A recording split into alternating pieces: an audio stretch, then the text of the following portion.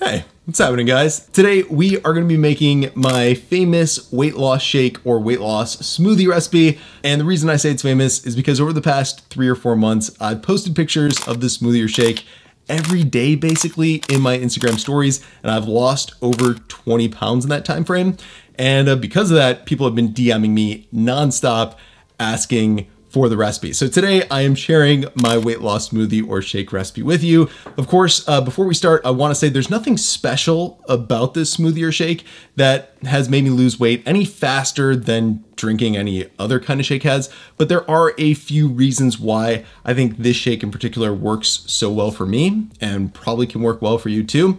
Number one, this shake is packed with protein and protein is very satiating. So after I drink the shake, I really am not hungry for the rest of the day. Usually I have this in the morning so I can go hours and hours and hours without eating. And I think the protein content in the shake is one of the reasons why I can do that. Number two, this recipe makes a ton of smoothie deliciousness. And when I say a ton, makes like 50 ounces of smoothie. And obviously that is a ton of liquid. So after you drink something like that, uh, not only am I hydrated, but I just, I really don't feel like eating for a long time after I have the shake. And then last but not least, the third reason is because there's a little bit of caffeine in the shake.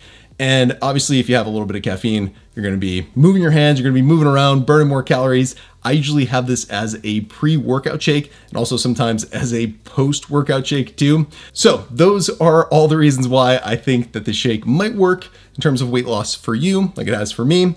With that said, let's not waste any more time. Let's jump right here in my kitchen and I'll show you how to make it. All right, so for the base of the smoothie, you want to use a cup or 240 milliliters of the milk of your choice. As far as the one I like to use, my go-to is some unsweetened vanilla almond milk since it's low in carbs and low in calories. Now, after I've added the milk to my blender, the next thing I like to add is one small or medium sized banana, and usually this works out to be about 100 grams worth of banana. Also, even though I'm not using them today, I really like adding frozen bananas when I have them, just because I'll end up using less ice later on, and using them instead of more ice makes the shake even creamier and even more flavorful. By the way, if you want to skip the bananas, I do have a second version of the shake that doesn't require any. I even make this version for myself from time to time, but we're going to talk about that option a little later on in the video. Anyway, the next thing I like to add to my smoothie is some of this sugar-free, low-carb, low-calorie chocolate syrup. I like to use three tablespoons or 45 grams of it, and using it not only enhances the chocolate flavor of the shake, but it adds a bit of caffeine to it as well. And of course, I have to mention this, do not, I repeat, do not put the syrup on ice cream. On ice cream, it is absolutely disgusting, but for whatever reason, in shakes and when used to make low calorie, low carb chocolate milk, it's delicious. But for whatever reason, it is absolutely disgusting on ice cream. So you've been warned. Now, the next thing I like to add to my shake is some black cocoa powder. And this is really the key ingredient to making the smoothie taste like an Oreo cookie. So if you want yours to taste like this, make sure to pick some of this stuff up. There's a link to grab some in the video description below. Also, if you're wondering how much of it I use, I use three tablespoons or 15 grams of it in my shake. Okay, so once I've added that, I like to add a scoop or 30 grams of protein powder. And as far as the one I like to use in my weight loss smoothies, I like to use this vanilla one by PE Science. Kind of gives the shake a hint of cream flavor, just like an Oreo has. And it's also a whey casein blend, so it digests a little slower and keeps me fuller a bit longer than just using a whey protein would. Anyway, after I add the protein powder, I'll add about two to three cups of ice. Of course, how much I add just depends on if I'm using frozen bananas or not.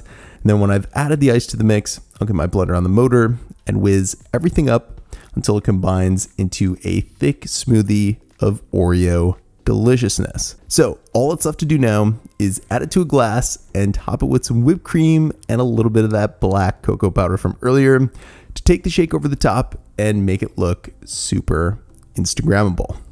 All right, so like I said, I do have a banana free version of the smoothie. So let me show you how you can make that really quick.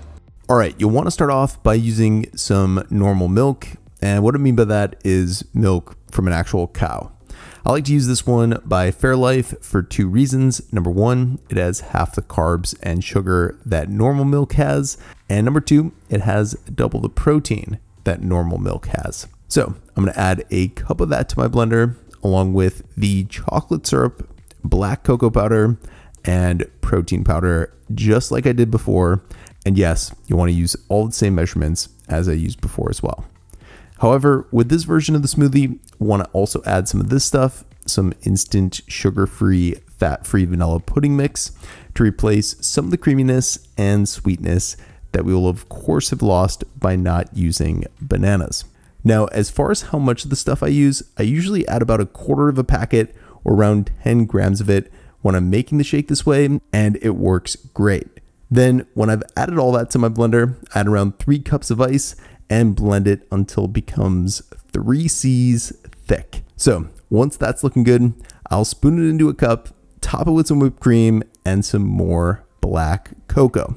Of course, I'm not gonna lie, I do really like drinking this straight out of the blender as well.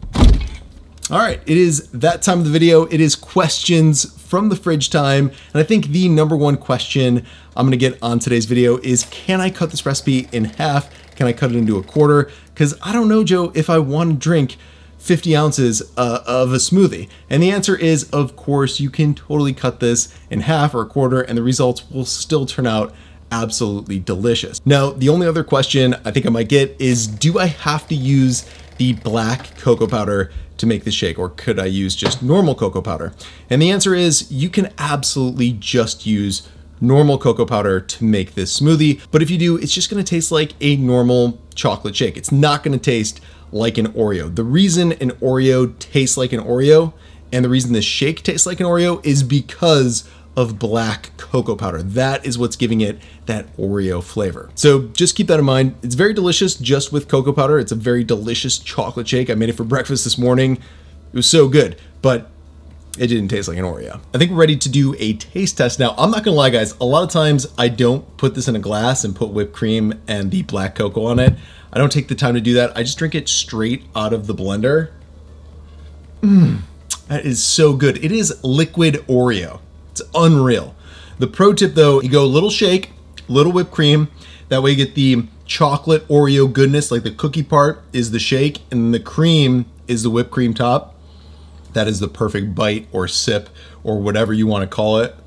It's legitimately an Oreo in smoothie form and it's good for you. It, it's just, it's crazy how good this is. By the way, one thing I didn't mention earlier is uh, the taste of the banana in the smoothie. You can't taste it. Once you try this, I think you'll be surprised that you actually can't taste banana in this at all. It legitimately just tastes like an Oreo in liquid form. That's what you got in here. Anyway, that's how to make my famous shake recipe. I hope you guys enjoy it. If you try it, definitely tag me on Instagram. I'd love to see your recreations and I'd love to put them in my stories as well. As always, for more info on today's recipe, check out the video description below. There's a ton of really great info down there.